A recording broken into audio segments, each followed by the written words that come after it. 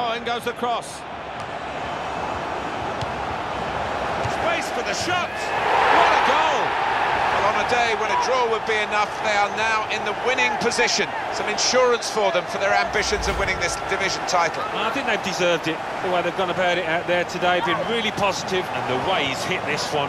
He's flew off his boot to beat the keeper,